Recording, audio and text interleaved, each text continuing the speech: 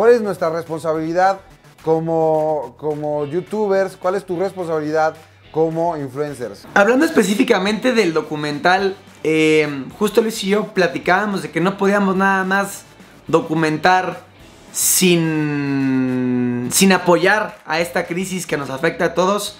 Eh, de hecho, parte del presupuesto del documental se va a donar al World Health Organization, la Organización Mundial de la Salud, que va a, pues a que todos los médicos tengan mejor equipo, más equipo. Pero sacándonos del documental, creo que, y no sé si tú lo sentiste Alex o tú Luis, em, de alguna manera sentí que durante este encierro nuestra responsabilidad de intentar entretener era muy valiosa. O sea, sí creo que a veces es subestimado el, el, entretenimiento.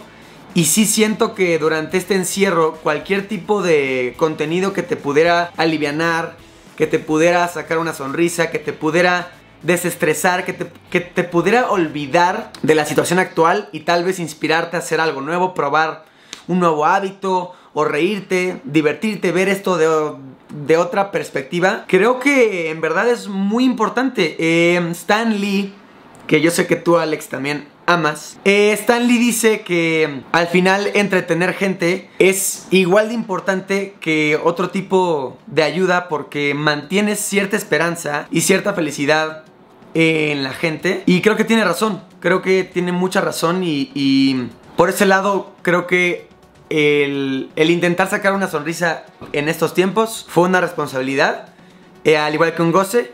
Y pues ya si nos vamos a cosas más tangibles, pues creo que todos aquí, y puedo hablar por Luis, hicimos pequeñas acciones para ayudar. En mi caso hicimos varias caretas desde casa para diferentes médicos en la CDMX.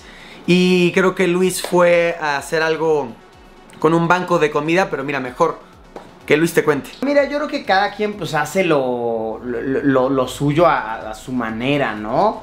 Em, yo pues he estado ahorita involucrado en acciones con, con banco de alimentos, también con fundaciones que trabajan con, gente que están adentro de, de, la cárcel en estos momentos.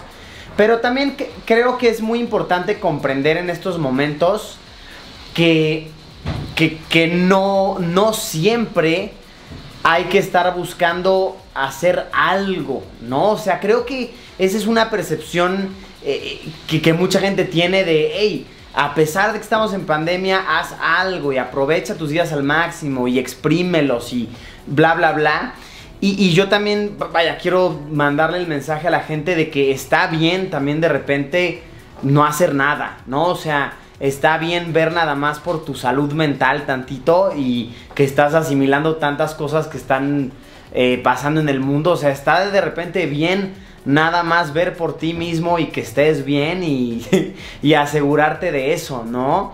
E, está bien de repente no hacer nada y creo que no debemos de sentirnos mal ni hacer a otros sentir mal, de que tenemos que siempre estar haciendo algo y estarnos preocupando y ser productivos yo a, mí me gusta pensar de esa manera. Si quieres ver el video completo, aquí está la cajita. Porque hay muchísima más información para ti, para que te entretengas y para que te la pases muy bien. Y aprovechando el mensaje, no olvides suscribirte, activar la campanita y darle like. Esos tres son el combo ganador para que tú sigas disfrutando de mucho entretenimiento de parte de nosotros. Yo soy Alex Montiel. Nos vemos en el siguiente. Bye.